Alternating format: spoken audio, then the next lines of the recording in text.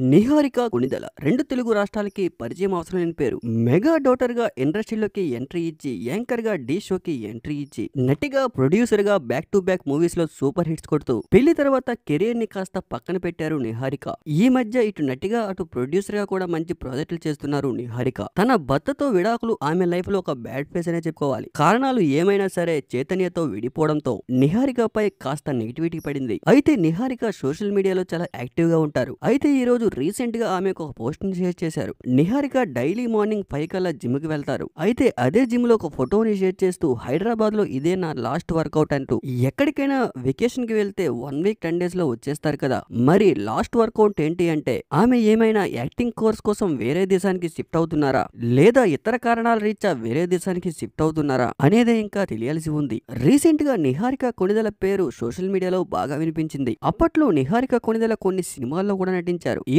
గా నాగశౌర్యతో ఒక సినిమాలో కూడా నటించారు. ఆ సినిమా అంత పెద్దగా వర్కౌట్ అవ్వలేదు. ఆ తర్వాత ప్రొడ్యూసర్గా కొన్ని సినిమాలు చేశారు. రీసెంట్గా యాక్టర్గా ప్రొడ్యూసర్గా సినిమాలకి చాలా దూరంగా ఉంటున్నారు. అయితే ఇప్పుడు ఆమె ఇన్స్టాగ్రామ్లో షేర్ చేసిన ఒక పోస్ట్ సోషల్ మీడియాలో వైరల్గా మారింది. ఇదే చివరి రోజు అంటూ చేసిన పోస్ట్ ఇప్పుడు సోషల్ మీడియాలో చెక్కేళ్ళు కొట్టేస్తోంది.